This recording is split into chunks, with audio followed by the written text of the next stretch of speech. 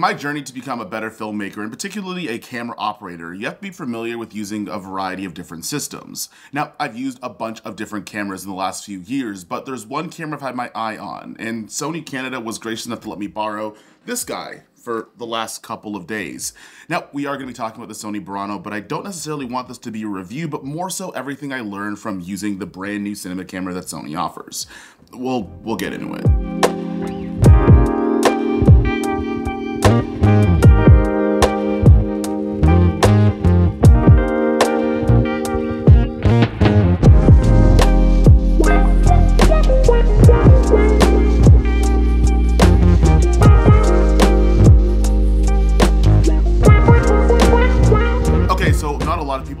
Camera, so I think it's worth talking about the design of the Sony Burano itself. And to be honest with you, from using the FX line cameras, everything that I felt like was missing out of the FX6, 3, and the 9 are all in the Sony Burano, except they are going to charge you, which we're going to talk about a little bit later. Now, I totally thought the learning curve on the Sony Burano was going to be a little bit more complicated. However, everything looks exactly the same as the FX6 menus. Now, I didn't do a lot of tests on the in-body stabilization. However, one thing that I did notice that you can use in-body stabilization even for PL mount lenses, which is something that's new. I use the Digital Vespid Primes and we did use them a little bit on the wide angle and you do get a slight bit of jiggle on the corners while using in-body stabilization. However, if you do need it, it's something that you can use at your disposal. I also want to add down to the autofocus. The autofocusing system works pretty much the same way as the FX6, which is another thing because a lot of cinema cameras don't have a handy autofocusing system. You'll probably see it throughout this video because I used a mixture of lenses, but honestly, when using the autofocus on this guy for situations where you need it, it actually comes in handy and works just fine. I love the fact that there's gonna be the onboard audio that's gonna be in there. And you have two XLR ports that are three pin instead of five pin, unlike the Venice one, which I don't think I'm ever gonna stop complaining about. You're also gonna get things like built-in NDs, the autofocus as well. But I also really like the fact that a lot of the IO is already built into the camera itself. One thing that I didn't necessarily like about having something like the Komodo X is I had to buy extra accessories to get things that I would have gotten from a more run and gun style shooting camera. Also nice that it has a V-mount plate as well, so that way if you want to have extended battery life, because it does take up a lot of power with everything that's in it, you have the ability to do that as well. But I find that it's just a bigger, heavier, more robust version of some of the FX line cameras, and they put everything in the body to minimize how much stuff you actually need. One of the things that I will say is, albeit it's not the same size as the Venice, it's not a light camera either. So you want to make sure that you have the proper support, especially when you're to be using this guy. But at the price point that it is and the level that it's going to be at, I think you're going to be just fine. bạn.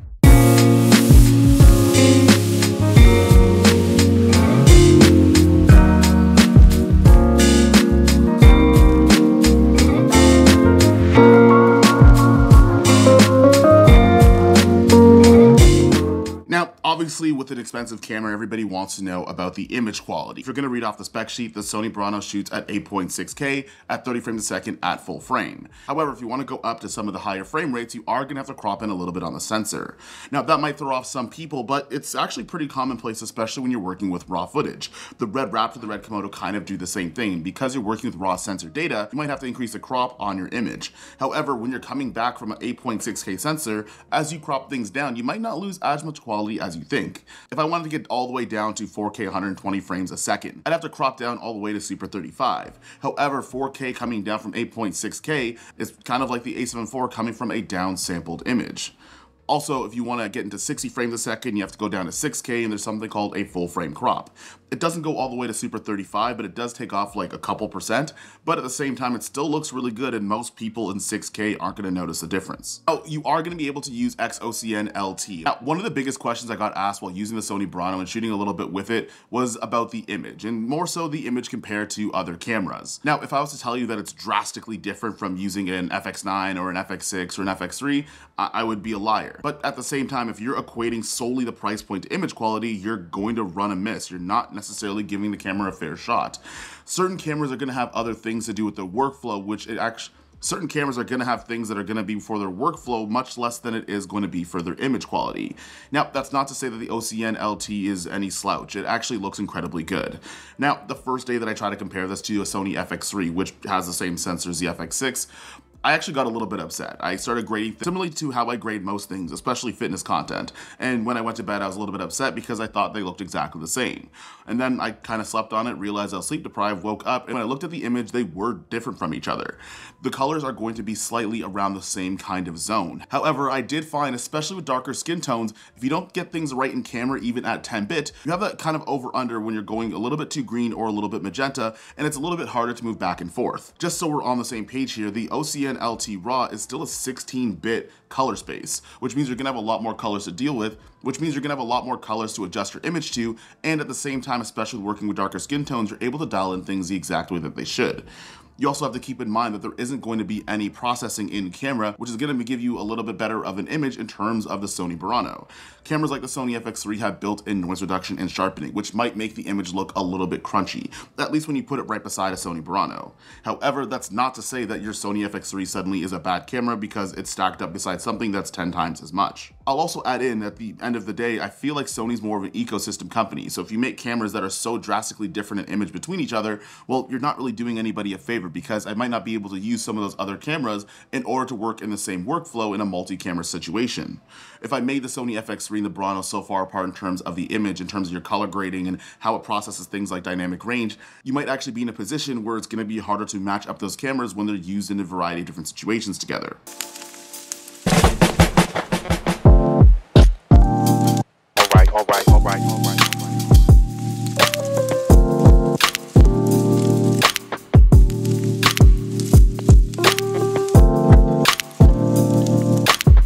I don't have a lot of notes in terms of the dynamic range and the low light. If you want to see more of an in-depth version of that, you could just go to CVP and watch that. I'm not necessarily going to parrot exactly those things, but I feel like both of them are going to be great. Personally, for me, my litmus test for both of those things that if I am in a room with a window in the background, does the window blow out? And if it doesn't blow out, then I think the dynamic range is just fine because most of the time, especially on a system like a $25,000, $30,000 camera, you're probably going to have your scenes lit. You're probably going to have people that are going to handle your lighting, so you're probably going to be able to fight around that dynamic dynamic range. I actually don't know how many stops are in this camera. On top of that, in terms of its low light, I think the same is going to be true as well. You have 3200 and 800 as your dual base ISO on the Sony Burano, which is a little bit different from an FX3, which goes up to 12,800. However, there hasn't been a situation where I've needed to go to 12,800, and also when you are at that high base on the Sony FX3, you do lose a little bit of dynamic range when you are using that ISO to compensate for a low light situation. However, on the Sony Burano, it kind of looks exactly the same if I'm using 800 or 3200. I don't notice a gigantic difference in the image, in both the situations it looks really clean. Albeit you can light things fairly simply because in the lighting scene for a lot of the tests I did, I just used three Nanlite Pavo tubes and it worked just fine and otherwise the room was completely blacked out. Now with all that being said, a lot of people had asked about in comparison to other cameras that can do RAW as well, particularly the Raptor and also the Blackmagic 6K full frame, which are two cameras that I've operated on and one of those two that I own. And I'm gonna say that out of the box, if I'm just looking at the image on its own, no, I don't think any one of them is better than the other because for because for the most part, if you're exposing properly, you're lighting properly, and you actually have some color blocking going on, and you invest a lot of things that happen before you press record, pretty much everything is gonna look good. I don't think that especially on a platform like YouTube, you're gonna immediately be able to see the difference between two cameras that are gonna be expensive as these guys are. And on the note, on the Blackmagic 6K, it does shoot in 6K RAW, which looks amazing, and it's very hard to tell the difference between RAW images kind of across the board out of the box. If you have a decent colorist that knows how to do their job, you're gonna make any image look amazing. I don't think comparing something like a Red Raptor or a Sony Burano or a Blackmagic 6K or a Sony FX3 coming out of the box, unless you're someone who knows really how to push an image, is a fair assessment if anything is worth the money based on what the camera looks like. We all can say that we're decent at color grading, but when you put it in the hands of some professionals or when you put it in the environments that the camera is kind of made for, I think the results are going to be a little bit different, which is the reason why I don't really want to try to convince anyone to buy this camera because it might not be made for your workflow. And if you're someone that's happy on an FX3 or an A7 IV, I don't think there's anything I could say to convince you to spend the extra $20,000.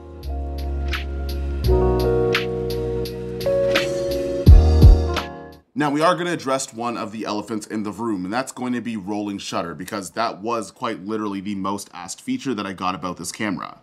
And I would be a bold-faced liar to tell you that there isn't any rolling shutter. There definitely is, and if you shake your camera side to side, you're going to notice some rolling shutter. However, as somebody that shoots a lot of action, a lot of fitness, I shot a lot of dance stuff as well using this camera, I kind of didn't notice and I kind of didn't care. This is coming from somebody that also has a Red Komodo X, which has global shutter. And I will say when I'm shooting handheld, it does look really nice and the movements feel very natural. However, when I was shooting on the Burano, which sometimes I did shoot some handheld, mostly because it's heavy, I didn't do it too much, I didn't necessarily notice a gigantic difference in the wobbles in the corners.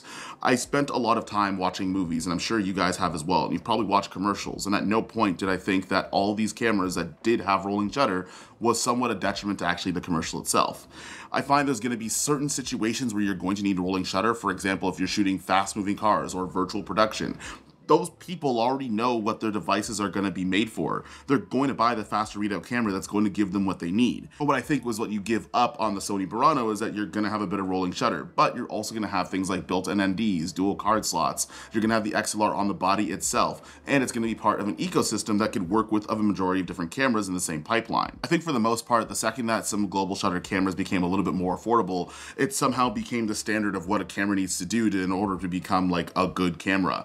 But I find that if you're going to be somebody that's going to use what this camera is intended for, I don't think you're to notice. I kind of don't think you're to care. And if you're to be shooting in handheld, the image is still going to look really good. Now, more on that, I feel like some of the discourse on the internet ends up becoming the Honda Civic drivers complaining about what Tesla should do. And if you're not somebody that's in the market for these cameras, I, I don't think it's something that everybody should be looking at, to be completely honest with you. That also includes myself.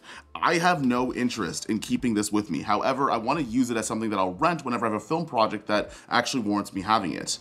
Now, there was two reasons why Sony Canada actually let me borrow this camera for as long as they did. One of those things is that as a camera operator, I am going to be working in May with the Creator Crew, and I'm going to be operating on the next short film that we have. And the second one is actually going to be a little bit interesting.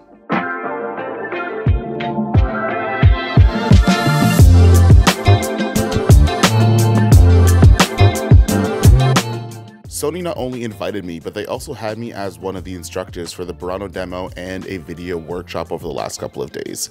There was a ton of people at this event, and we actually got to teach a lot of things about the Sony Burano and also how to use a two light setup in order to have a game time interview. Now, if you guys want to know more about that or more about this kind of setup, you could always leave a comment down below. But I was really humbled about was out of anybody they could have picked to lead this video workshop, they had me teaching a camera that honestly is far out of my scope in terms of what I would normally use. But the fact that they had this guy that does YouTube a bunch and camera operates every now and again to actually teach other creators how to use this thing was actually incredibly humbling experience and it was a lot of fun. I got to connect with a bunch of different industry professionals and other aspiring creators as well, and being able to build a community around a common interest far passes just doing the typical gear review, quote unquote. There's a lot more things that go into some of the technology that we use for our jobs, and the ability to be able to speak on that and trade notes with other people around the industry, I think far exceeds the actual importance of the camera itself. But a special shout out to Sony for actually bringing me on these workshops throughout the week and this is also the second reason why I got to use this camera, which was really fun if you're somebody that is working on bigger productions, someone that's working with larger budgets, or someone that's working with a dedicated crew, the Sony Burano has everything that you need in order to limit the barriers for the workflow perspective and the ecosystem that this camera is going to provide. However, if you're someone that's shooting on an FX3 or an FX6 or those sub $10,000, $5,000 cameras, there's not a lot I'm going to be able to say to convince you to spend the extra $20,000 for what the Sony Burano provides unless you're in that same ecosystem. This goes across the board for every single camera. A lot of the times once you get into the upper price tag of things, those people that buy those cameras already know what they're buying them for and they don't necessarily need to be convinced and honestly there's nothing I could say on YouTube that's going to convince you to go from an FX3 to a Sony Burano. And if there is, I'm going to leave an affiliate link in the description down below and I'll take myself out to lunch. However, I don't know if a lot of people that are watching these types of videos are going to find that value in that $25,000 price tag. You're going to get a lot of the way there on your Sony FX3. You're not necessarily going to have 16-bit RAW or built-in NDs in some cases, or have built-in audio on the body itself. At least those things aren't going to be cheap. However, if you are somebody that is happy with the camera you have, I don't want this video to function as something where you have to take out a line of credit to buy a camera body, because it's never a good idea.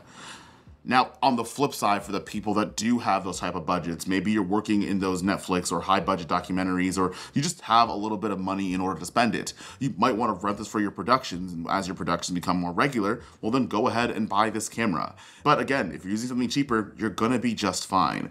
A new camera releasing doesn't necessarily mean that the one you have is suddenly garbage. And albeit that the Sony Burano, personally for me, checks all of my boxes, they're, they're gonna charge you. And whether or not you're willing to spend that amount of money, well, that's up to you. That being said, said, a special shout out to Sony Canada. They've lent me a whole bunch of different camera gear to try out and also to make a lot of educational content for you guys so you know how to use the gear that you end up purchasing. And as well as letting me lead an entire video workshop, even though I was probably one of the more underqualified folks to be there, at least argumentatively but they've given me a ton of opportunities like renting out the Sony Burano in which I can tell you my thoughts about it, which I think it's an amazing camera. It just might not be within your workflow and your price range. That being said, if you guys want to see more videos, we're kind of back on the grind now. I spent some time away, but I'm going to leave another one over here and there's a ton of videos coming out later. But I'll see you in the next one. Peace.